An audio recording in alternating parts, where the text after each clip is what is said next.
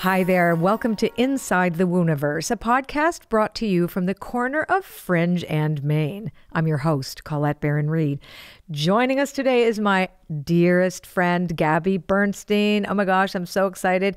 You know, for the last 16 years, she has been transforming lives including her own. And we're going to unpack that today. Gabby's a number one New York Times bestselling author who has penned nine books. That's a lot, including her most recent. This is very important. Happy Days, the guided path from trauma to profound freedom and inner peace. She's also the host of the most awesome podcast called Dear Gabby, her weekly podcast where she offers up real time coaching, straight talk, and conversations about personal growth and spirituality, aka the woo. Welcome, Gabby. Welcome to the woo.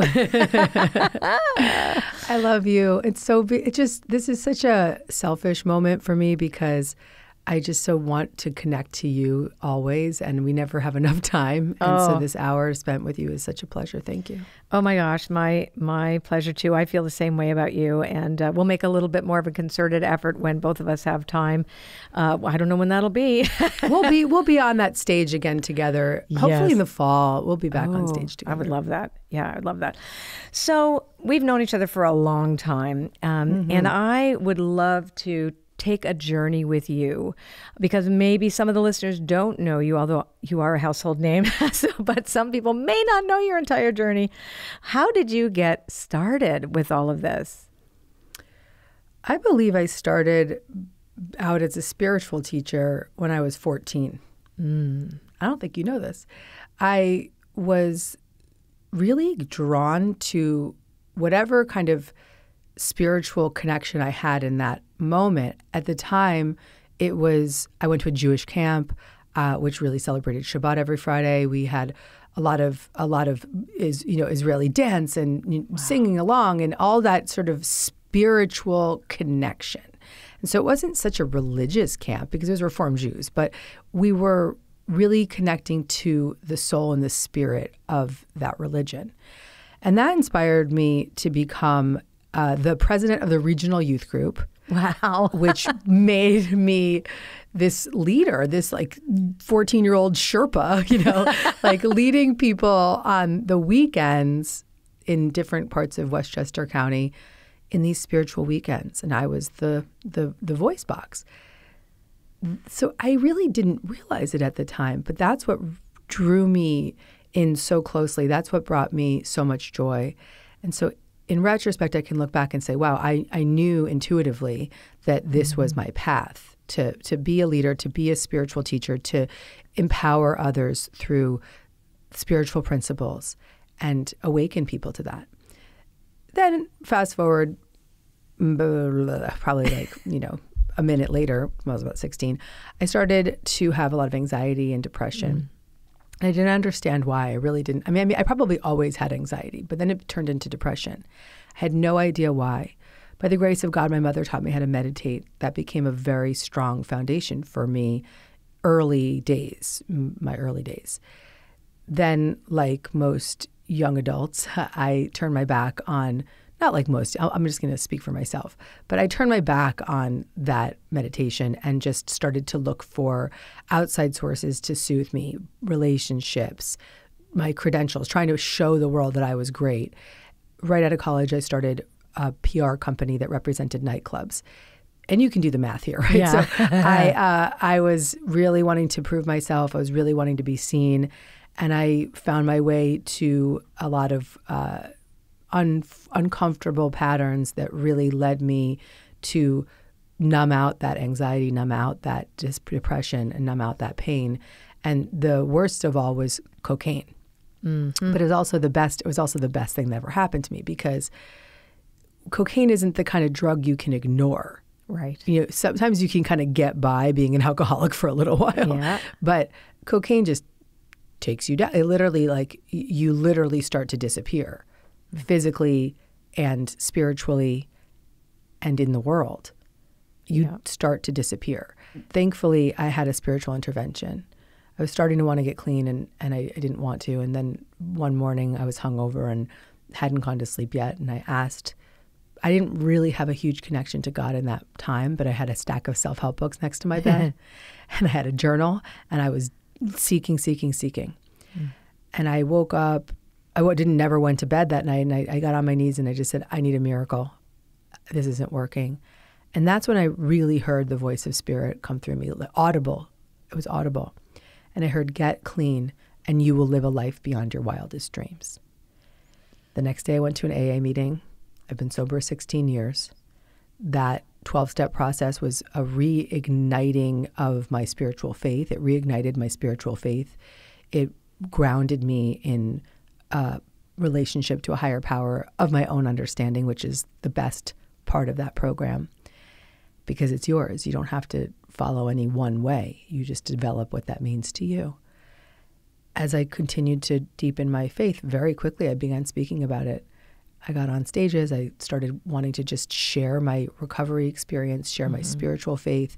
This was at a time, this was 16 years ago. So we, no one was drinking green juice and gluten free, and there wasn't a wellness industry at all.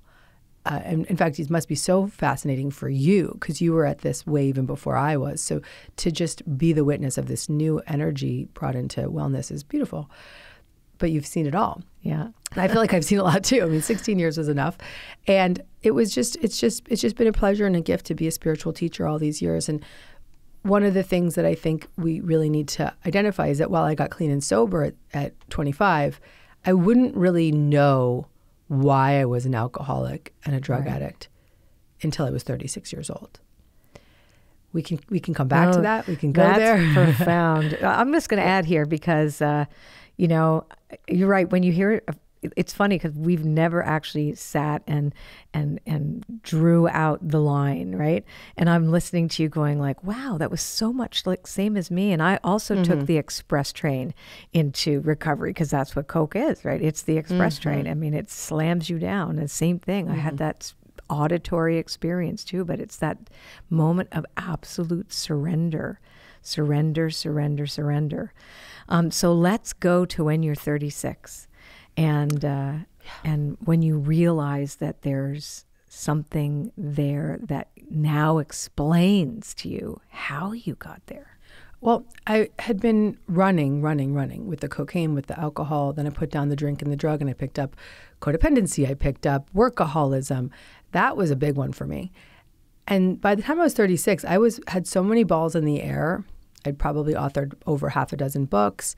I was traveling all over the world. I was, but I was also very, uh, very uncomfortable getting help. So I had one virtual assistant helping me, God bless her. I was married and trying to have a baby. It was just a lot at one time. And a lot of my uh, control mechanisms were getting dismantled. So the way the control was a way of hiding and numbing this impermissible memory that mm-hmm. had been locked away. And I literally would say to myself in the months leading up to this memory being revealed that I, kept saying, I can't go on like this. I can't go on like this. I'd have breakdown after breakdown, literally cracking. Yeah. It was like cracking into this memory. And then without realizing it, I revealed the memory was revealed to me in a dream. Mm-hmm. I had a dream of being an adult, accepting and confronting the experience of being sexually abused as a child. And it didn't give me much more information than that, but the information was so strong in my body. I woke up that morning and I was like, oh, fuck, I'm not talking about this. It can never be revealed. Shut that shit down. Mm-hmm. Then I went to therapy a few days later, and my therapist just said a few leading phrases that that just at the moment I was ready to acknowledge Right. And it just threw me right into the full experience of the memory. And when I say the full experience, it wasn't like I resolved who it was or I resolved where it was. It was just, just full blown, holy shit, this did happen to me. And I walked out of that office and I got in the elevator, went, went down one flight, started having a panic attack, got on the staircase, ran down the stairs, got out into the busy New York City street. It was six o'clock at night in the winter. Found my way into an H and M and went into the to the dressing room. Fell to the floor, hysterically crying. called one of my very close friends, Dr. Lisa Hallerman, who's a very close friend of mine and an addiction specialist. And she's hadn't been studying trauma. And I called her and I said, Elisa, I just remembered that I was sexually abused as a child. And she goes, I always knew. Right. Yeah. So that began a really committed journey of trauma recovery. And so since 2016, I have been in the devotional practice of undoing the traumas from my past so that I could be free right here, right now with you. Let's talk about that a little bit more. So, this was so profound. I, you know, when you say I'm in the devotional practice to unpacking the trauma or to undoing the trauma, um, you know, a lot of us don't remember certain things. I also was uh, molested when I was a little kid and then had uh, violence and sexual abuse later on. And that is something that we can run from because shame is at its core, right? I mean, it's like we're rooted in shame. Nobody, you know, it's like when you first said, going back to what you said, I'm not going to No, talk about I this. won't talk about I'm this, not yeah. talking about this. That's right. And you know, as and I shared with you the other day that it took me. I'm I'm 63 and I'm sober 36 years, and it's only been in the past few months that I've talked about an old trauma around sexual abuse with my therapist. It's taken me mm-hmm. 40 years to be me willing, full body chills, right? yeah. And we have to talk about it. We have to we have to set ourselves free because it will take us hostage. And that's what I've, you know, I've been watching you go through this and and it really is like a liberation. This devotion to the healing. So tell me a little bit about um, that statement that you're in this devotional relationship to set yourself free from this. it became my highest priority because if I wasn't going to fully submerge my energy and my commitment and my devotion to recovery, I wouldn't be able to be the mother I am today. I wouldn't be able to be the wife I am today. I wouldn't be able to be the boss I am today. I wouldn't be able to write this book. I knew when I was in 2016, I knew. I said, I said to my speaking coach, "Oh, I need to talk about this. I need to write about this." She said, "Not yet, honey. You're going to reactivate yourself and reactivate your audiences." So I knew very, very clearly that this was not a book that could ever come out of me until I was very much on the other side. Right. Of course, I'm still consistently in practice, in consistently devoting and developing more of my sense of inner safety. There's no way in hell, Colette, that I could have written this book without being so far on the other side. Well, you have to. I mean, I think this is that re traumatizing because if you mm-hmm. don't know and the trigger just, it's like a light switch just turns on and it is in the body. It, it's held in the body. And then you just go back there. So I'm really, whoever told you this was so, so smart because I Yeah. know the desire, like, oh my God, I found this thing and I'm feeling a little bit better. So I want to share it.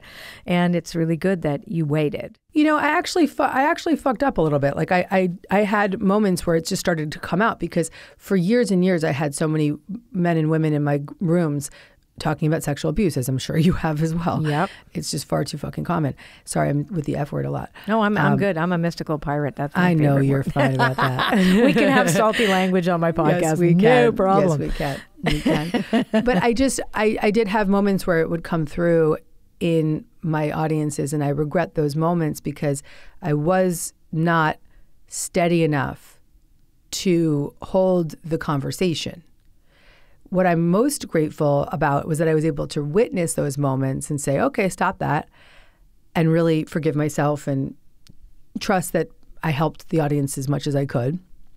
And then, most importantly, got myself to as much safety as possible before I decided to write this book.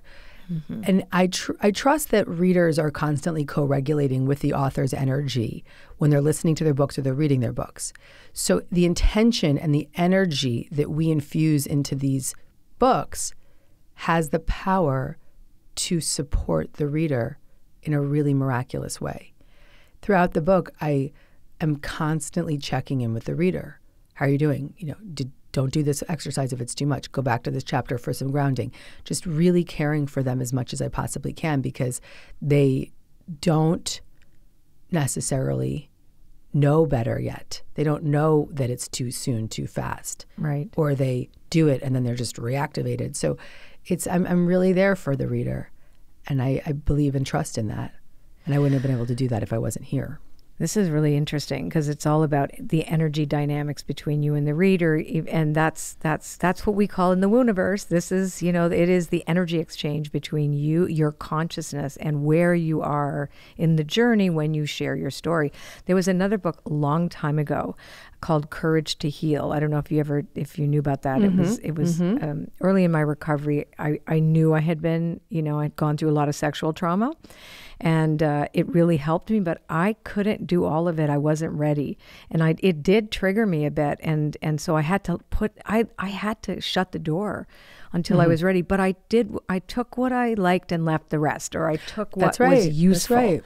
That's and, right. and you invite people that way in all of your all books the you way do that through. yeah All the, and the other thing that I think is really valuable about this specifically is that even if the reader just reads the book and doesn't practice any of the principles, what they'll be gifted with is number one, to know that they're not alone in their suffering.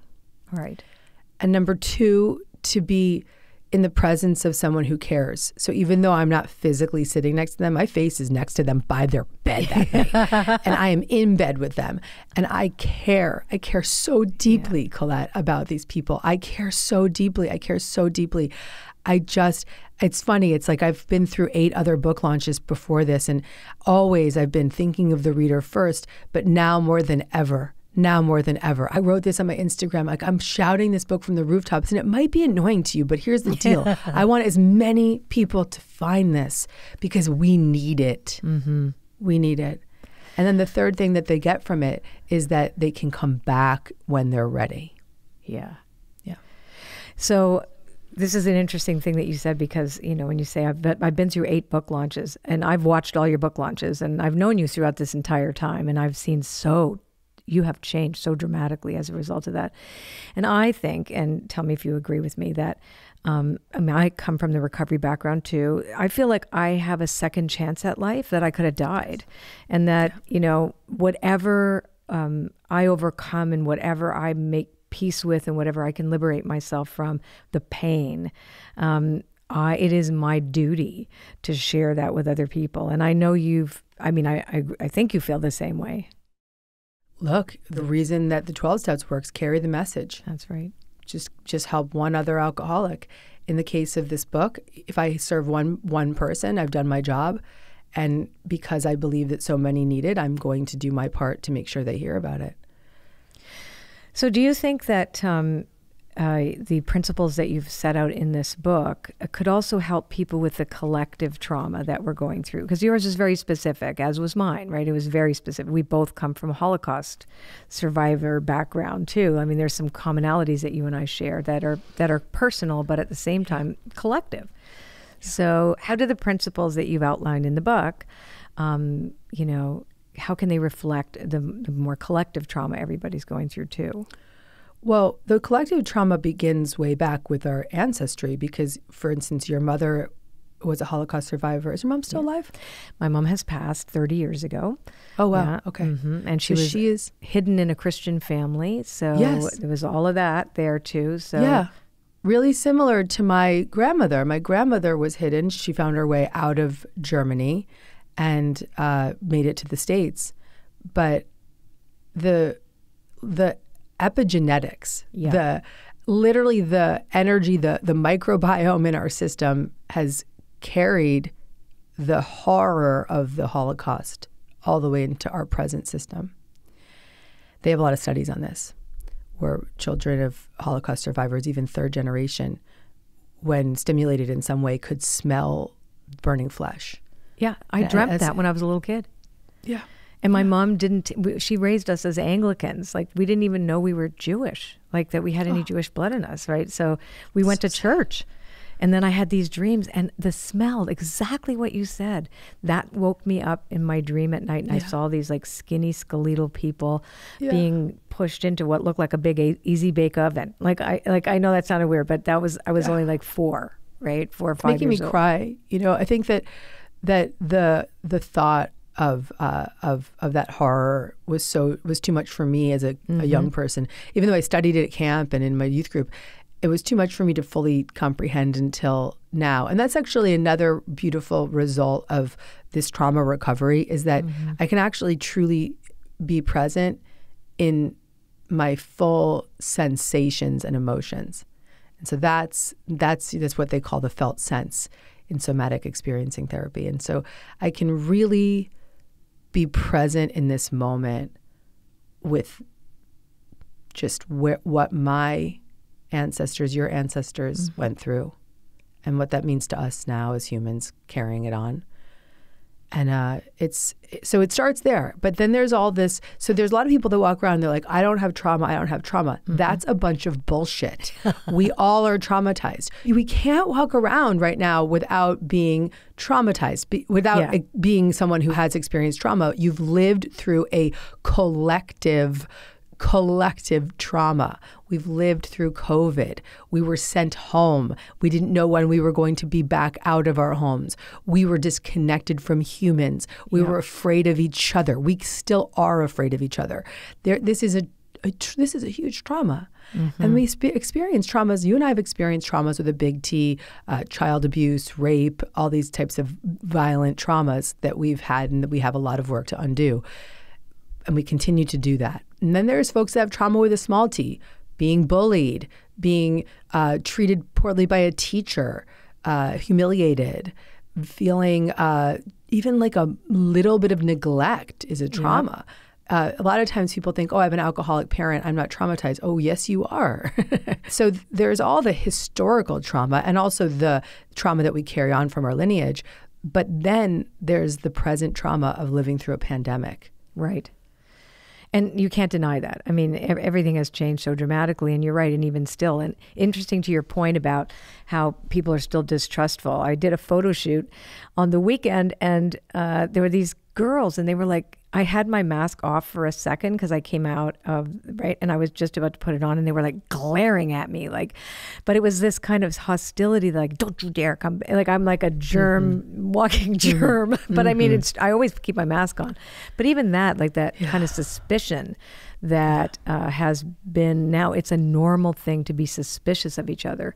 Yeah. um, and that is something that is traumatizing because we're not used to that at all. And the changes. No. so i want to go to the intuitive piece because I, there i have a theory. Um, in my work as an intuitive and uh, as a spiritual teacher like you i run across a lot of people who are highly intuitive. Their psychic abilities have gone off the richter scale in the past few years even and um, and what I have noticed are the people that have a, a, really big awareness of this are people who have experienced the big T, right? First, but it's when they work through it because that's what I've noticed with you. You have like gotten so whoa, right? I mean, your abilities are off the charts now that you're actually unpacking all the trauma and you're on the other side of it. And that's that healthy, it moves my theory is is that it moves from the um, the sense of always being on patrol, looking for perceived threats, which is how we it's a muscle, right? That's what we we exercise that muscle, and then all of a sudden, when you're not when you're safe, now you have access. Can you tell me a little bit about your access now? Wow, I love this conversation so much. So, as you know, I've always identified as a medium, not in the way that that I would identify you as being able to just full blown have a conversation. But in moments when I'm writing, yeah. when I'm speaking, I'm absolutely channeling. Yeah. Uh, when I'm doing my podcast, Dear Gabby, I go back and I'm like, I listen to it. I'm like, who said that? you know, who wrote that? We all have that ability. Yep. And some people it's just more fine tuned. Being living on the other side of this emotional disturbance, as you've just defined it, out of the panic and chronic fight flight, out of the desperate need to control, out of the terror of being a human, which is truly what happens when we have big T trauma. We are so we all, we skyrocket out of our body. Mm-hmm. We have a soul departure. And in the trauma recovery process, we literally reclaim and reconnect to that soul retrieval. Mm-hmm. And I've been in my practice working and st- uh, now I'm trained in internal family systems therapy. Oh, you did that. That's amazing. I am level one trained. I'm going for Oh. all the level twos. I am in it. This is a profoundly spiritual therapeutic process that was founded by Dick Schwartz, who is a beautiful friend and a, he won't in the clinical space they won't define him like this, but I Right. will. Yeah. He's an absolute channel. Wow. He was gifted this incredible truth to, to bring forth, and it's spread beyond so many different therapists, all thou- millions of therapists in, throughout the world. And it's one of the greatest methods. I write about it all in the book and introduce it in the book. But what it teaches is that we're not one part. Right. We have all these different parts of ourselves. We're not Mm-hmm. mono. We are we have many parts of ourselves. We have the exiled child parts that when you and I were sexually abused as children, they just Yep. went poosh, locked up in under, you know, in the basement. We're not talking to those guys ever again. We're going to do everything that we can to protect ourselves from feeling that shame, that guilt, that fear, that terror. And we build up all these protector parts around us to anesthetize that exiled part. Protectors look like addicts. Protectors are the cocaine addict, the drug addict. That, those are extreme protectors that are called firefighters. Protectors are controllers. They're, we are, you know, we, the protector parts become the work addict. The protector parts are the reactivity, the, you know, constant stress, anxiety, even depression or numbing out is a protector. Mm-hmm. When you start to see these as different parts, you can recognize that these protectors are in these very extreme roles and they're set up in those roles to stop to, to anesthetize these feelings and mm-hmm. they've actually had a really good purpose for as long as they have but as soon as we start to address them we can get them out of the extreme roles and the mm-hmm. way we do that is a spiritual practice we do that by connecting to what dick calls self with a capital s Capital S, yeah. which is frankly your higher self. It's God. It's the God within you. It's it's the spiritual connection, the intuitive force, the inner guidance. It's the resourced part of yourself. It's the compassionate part of yourself. It's the curious part of yourself, calm, courageous. It's this magnificent truth that you and I have been teaching for decades as it relates to connecting to God. But in this mm-hmm. case, when we start to rely on self and let self lead, The capital S. the I've called it the yeah, I've called it big self, small self in my work too. So it's it's that's where the true intuitive content comes. That's too. when we it doesn't start- come from the little voices. That's right. That's right. Because when when we when we let self lead, self can be curious about those protectors and help them relax.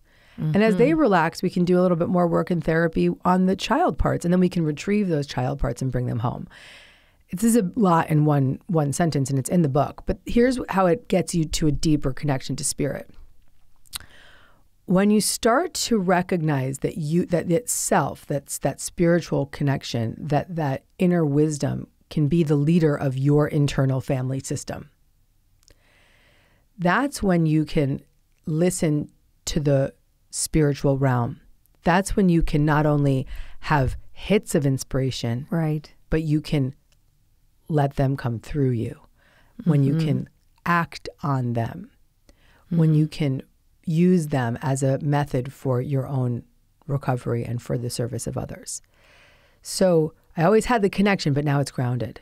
Now it's a voice I hear often. and it's integrated. So what you're describing is fascinating, and uh, I, I love this. This is that you're doing this because this was something. Uh, you know, I, I originally studied voice dialogue, the Hal and Sidra Stone method, and that's you know really um, gone through a lot of my work too. And this this reminds me uh, what you're doing and what you're sharing right now that about the integration piece because a, what I've seen is there's a lot of really highly psychically tuned people Yeah. that are disconnected from the integrated pieces. So there's still, you know, there's still a layer of, and I don't want to say dysfunction, I would rather say wounding that never has gotten resolved. And so those voices or those subpersonalities or however, you know, you describe them, um, you know, that are active that we abdicate responsibility. The small self runs the show because we haven't put put the bridge there, That's exactly right. right? So what I'm hearing from you and what I'm feeling from you too is this and it does it's like you are initiated there's an initiation like this cosmic initiation that happens you know through the work that you're doing and then you get to the other side of it and then you have genuine access doesn't mean that you don't continue to do the work and is a big difference what's profound about what you're saying is in IFS language, he calls it direct access to self. So you're calling, you know, genuine access to to, Yeah, to self and to and to and to the wisdom, the love energy, the universal presence that we are always wanting to connect to. And here's something that's really important for your listeners. Another pr- protector part can be the uh, spiritual bypassing. Oh yeah. Mm. So it's not it's not bad. It's like look, it's a beautiful way to be in protector because it's no longer often when we put down the drink and the drug, we're going to pick up the spiritual practice to just Yeah. in many ways get above, get higher than the pain. Mm-hmm. And I did that for many years with Kundalini yoga. And by the way, I'm not I'm not bashing Kundalini no, I yoga, get but it. I, I'm going to go on record just saying in public with you right now that I'm deeply, deeply disturbed by the actions of uh, the yogi who brought this Right. to the states. But I'm Yeah, grateful yeah, that yeah. it was brought here. Yeah. Just sorry, I'm still hooked on that. For a little bit. Um, parts it. of me are really in protector mode there. So Yeah. we we were using these these practices to get above the the pain, and Even the word ascension, right? Like their ascension. I, I like I'll be honest, like that just makes me want to barf. So it's like because I'm all about the shadow work. Like we cannot spiritually bypass. I couldn't And agree more. You can't because you don't get anywhere. This is a, this just bullshit. And You just go from oh I feel pain, but I am ascending into the fifth dimension. Mm-hmm, I'm like hello, you're in three. I don't give you know like you're still learning, and if you're gonna take your wounds over there, you're gonna hurt more people. Here's the thing, though. When I look back and I look at my cocaine addict part, and I look at my alcoholic part, and I look at my codependent part, and I look at my workaholic part, and I look at my spiritual bypassing part, and I look at my, you know, getting high on my own supply and Kundalini yoga part, I say thank you because Yeah. those protector parts were helping me survive until I was safe enough in my system to remember and process and reprocess the trauma from my past. Mm-hmm. So while I'm grateful that I got sober, I'm grateful that I stopped spiritually bypassing, I'm grateful that I'm no longer a workaholic, I can say thank you to those parts. They had a great service and they still show up for me in beautiful ways without being extreme. and and they're manageable now right that's the point Correct. So you can feel them you can acknowledge and you don't stay in them long as long and more importantly, there's no bad parts. Right So the part of me that was the controller, the controller mm-hmm. wrote nine books in 11 years. And while she doesn't have to be so extreme anymore, and she can take a longer time to write a book, and she can be so much more relaxed about it, she did a really good job. yeah she did a great job. She did a great job. And she couldn't carry on like that because it was too extreme. But she did the best she could at the time to help me get through what I needed to move through mm-hmm. and to get to where I am now. you know what i think when you said you mentioned spiritual bypassing as something that you could um, like live with and recognize this was there. I remember in my early recovery, there was so much stuff I couldn't look at. That spiritual bypassing back then, like 35 years ago, when I was first getting clean and sober, I needed it.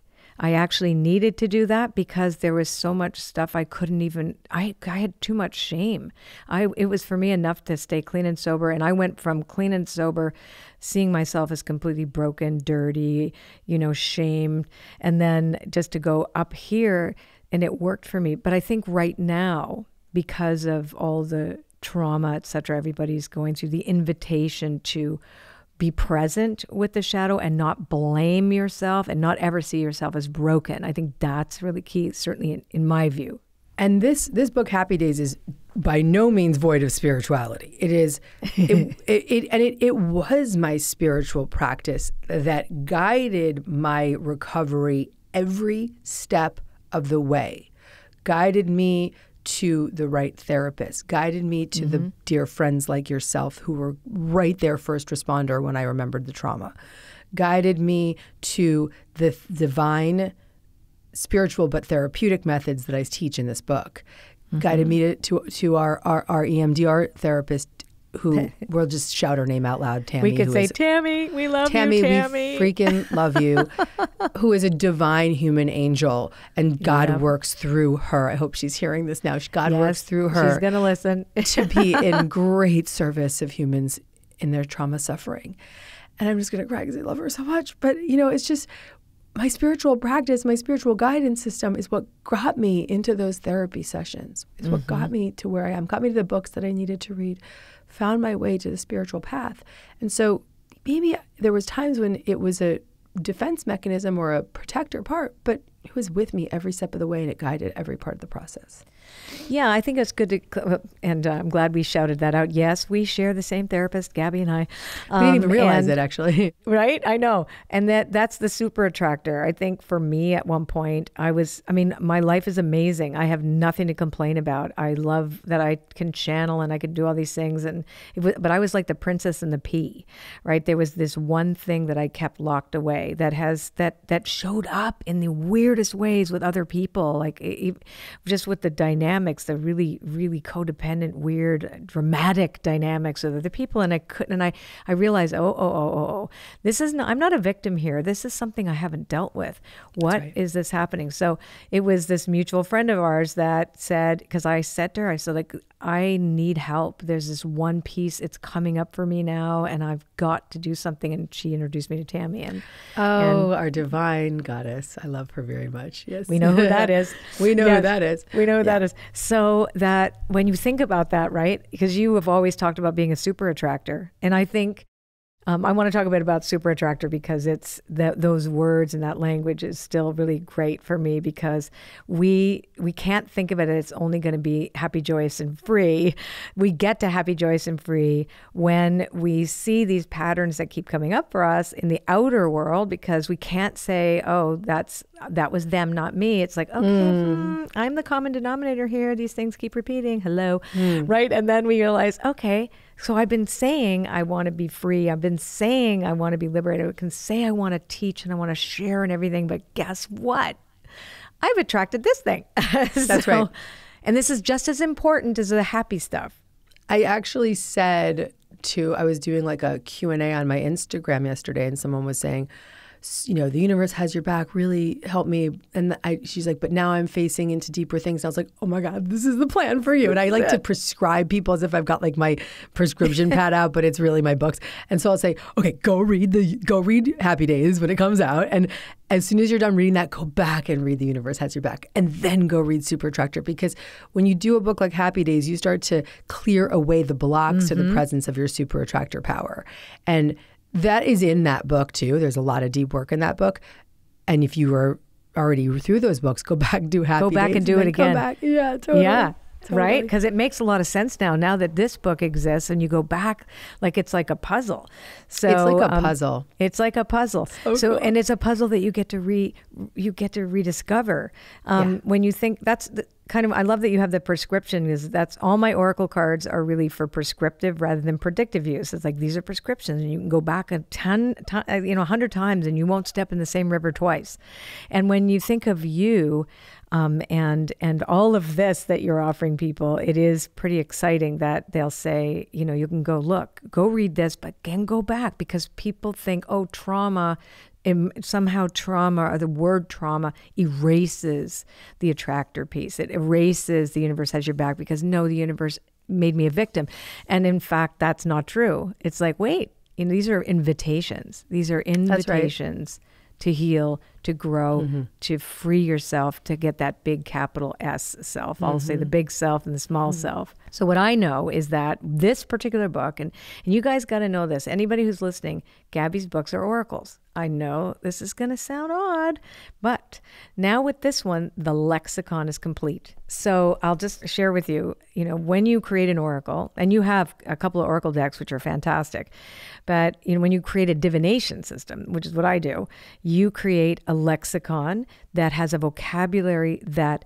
is full. It's like a round universe onto its own. It's its own little universe, hmm. right? And and now what you've done is you've completed.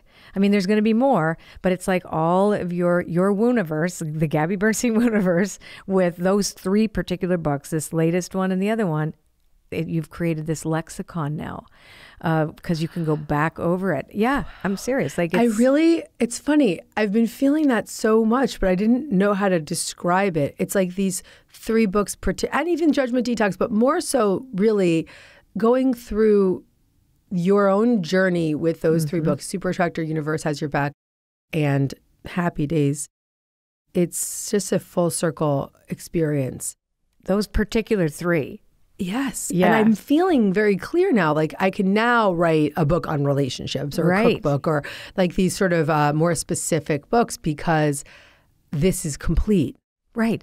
And oracular guidance, when we let's go woo on this. Let's right? go. So we let's go woo. So all of us have something called oracular consciousness in us, right? We all know, but we don't know what to call that. So some people Hmm. just those my spidey senses. But when we're given a full system, right? Because it, it has to be a system. And then it's com- and judgment detox, yeah, I forgot that one. That should go in there, but that's kind of like your your kind of um, like a secondary bonus. your clarity cards. right? There you go. There you go. There you go. Here's some Great. stuff we Okay. need to learn. Yeah. But Yeah. then when you have these three, those three books, because you've nine, but those are the three I would pick to say, Yeah. now you have the integrated system. And you're right, you can move on because it it's it's it locked now. So whenever I make an oracle and it locks, like the, it, it has to lock for me, that means that all of the pieces lock into place and I know Yep. it's a complete little universe. And you just did that because you now, right now, you have this is my teachings about like you have you have to have faith that there is a higher self within you that is connected to the universe, right? Because it's the, when you think of the universe and you're not connected, you think the universe is over there, up hmm. there, right? The universe has your mm-hmm. back, meaning it's up there, but it's inside you. We mm-hmm. are the universe. And that's when you deal with the trauma, that large self with a capital S knows That's it right. is the universe. It is. It connects you to all those different dimensions. And What you and I cool both have put this. right. It's totally. I mean, you got yeah, yeah. You're you're you're also locking in a feeling I was having, like Mm-hmm. a sense I was having, and then it's always nicely reinforced by my beautiful friend Colette. No, it's amazing. No, I was so excited because I was looking at it, and I was I was looking at it, going like, "Wow, this is like a complete oracle now." Yeah. These three specific books, like That's you right. can buy them three together and go back and forth as Yep, you need a hundred them. percent. Yeah. and depending on where you're at, you could be prescribed a different order. That's right. these books, right? And you can do something called stichomancy with your books. Want to get super woo? yeah, super woo, please, super Let's woo go with the me. woo. We're going to go to the Let's Wooniverse do now. Okay. So stichomancy is the uh, act of using a written body of work, like a book, um, that you open it up at any page. Uh, you ask a question, say you need clarity from the universe, right? And now you have your three books. So you figure that's like three different Oracle card decks. Which deck am I, which book am I going to use? So I'm going to open it up, close my eyes, and just flip. Or you can, or you can also do a randomizer on Google, right? You hmm. can go to Google Randomizer and put however pages, like from the introduction right to the end. You put in the number of pages, and then you do the randomizer, and that will tell you the page that you have to go to, and then yeah, and then you just read the page. Oh yeah, yeah, yeah.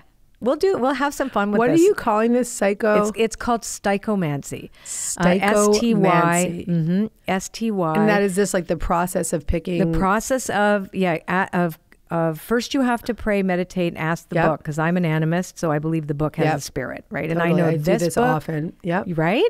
And your new book is a very wise, older. Like a grounded spirit. The other ones were a little more spunky. You know what I mean? but now it's it's completely locked. So so it will work with all three of your books together. So you can even add them as numbers in terms of like add all three books together. I'm gonna pull instead of pulling cards for my listeners, I'll pull pages. Yeah, pull a page. Exactly. And then, yeah, so there's another word called bibliomancy, which is you do it with the Bible. So, uh, yeah, but this is, you can do that with your, your books. This is going to be amazing. Okay. One last time. Stycho, S T Y, Mancy. yeah, Stychomancy, um, S T Y C H O Mancy, M A N C Y. Like, there's like uh, tasseomancy is the art of reading teacups or coffee cups. Oh, which I cool. know how to, which I do too. Yeah. So this is Of course you do. basically Gabby's bookmancy. Gabby's book Mancy. That's amazing. Gabby's bookmancy. You could say that. That would be fun. You could make up your own name. Anyway, um, so what guidance would you have to any of our listeners who are looking to heal their trauma? So you have a lot of deeply spiritual people that follow you. And uh, people who are a little lost, and they, they don't want to lose their connection to their deep faith, um, and might be scared that somehow you know, leaning into trauma work could. Um, do you get what I'm saying with this? I really right? do. So, I really yeah. do. How can they keep so both? what I want to say to that reader or person is all the spiritual work that you have done to the present, from whenever you started to the present, has established a profound sense of faith and safety and connection to a higher power of your own understanding, which will allow you to feel safe enough to go to the places that scare you and know you will come out the other side. Because you are guided, you are protected, you are led, Spirit is holding your hand. Spirit is guiding you to the book when you're ready to read it. Spirit is saying, put that down and go back to one of her other books until you're ready to read that next mm-hmm. pap- that next chapter. You are being guided. It is your faith that creates the space for you to go deeper into your subconscious, to go deeper into your wounded parts, to go deeper and to retrieve those child parts and bring them back to safety. Oh, that's so beautiful, and I and I also want to underline this. Um, everything you've been talking about, we we we've been talking about these parts, and I've always seen them as fragmented, but we're not broken. That's right. right. I think right because Yeah. I've never been comfortable with that. We need to be fixed. None of these parts need none of these parts to need to be fixed. They need to just feel safer in our system. Yeah. They need to be led by the internal leader self. Mm-hmm. That's what's up. hmm I love that, and I really love that you said also um, about you know read what you can, like you know, and if it's if you're not ready, do what you can, go back. That permission. I think that's the one thing that I would say about you that that has always um, impressed me about you is that you give all of us permission you know, permission to be human. I get the whole workaholism thing and that. I mean, I was, I, I, I ticked up every, every box that you've talked about. Oh, no, that's me too, me too, me too. Of course, 'cause all we the have same the same history. We have Same the same history. This is the like- result of that history. Exactly. Yeah, especially that, you know, having to keep making stuff for people, producing, producing, producing. Otherwise, I, you know, I wouldn't, Yeah. wasn't allowed to rest, for example. But, uh, you know, I love that. It's like also really loving the parts of you that you think are problematic. I think that's the other thing, right? You know, this is a problem. It's not. It's it's not that it, we're that we're problems. It's that we have parts of us that, like you said, need to feel safe. Mm, And when we get triggered, that's the part that's running the show. It's That's not correct. the the big the big S self. That's and correct. that's we have to forgive ourselves too. Well, listen, you know, I think that we have these parts where you can look back and be like regretful, but you can't. You have to look back and say, oh, wow, that part, while it was extreme, and I would prefer to not do it that way in the future or now, it did what it needed to do to survive at the time. And so there's no bad parts.